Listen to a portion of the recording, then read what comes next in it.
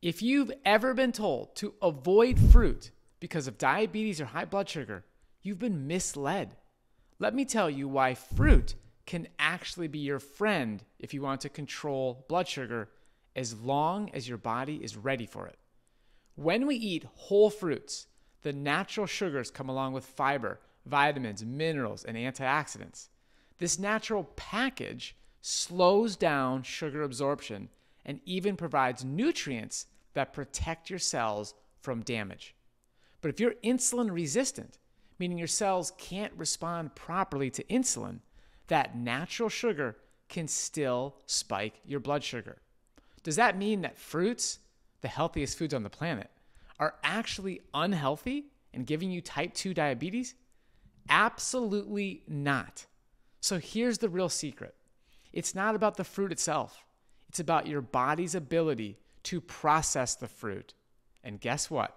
This ability is often blocked by too much fat in the diet, which interferes with insulin function. But when you reduce fat intake, especially from animal sources, and focus on whole plant based foods, your insulin sensitivity skyrockets.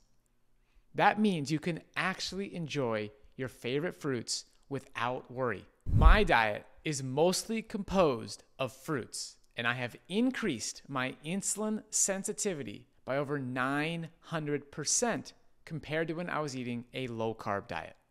Yes, insulin works much better in a low fat environment, which allows you to improve not only your blood sugar levels, but it also reduces your risk of developing heart disease, high cholesterol, high blood pressure, non alcoholic fatty liver disease, and other metabolic diseases that stem from insulin dysfunction. Are you ready to enjoy fruit without the blood sugar roller coaster? Our most transformative program to help you reverse the root cause of high blood sugar levels is open for enrollment.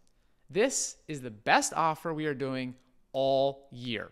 Comment challenge below to reserve your spot in the six week blood sugar transformation challenge.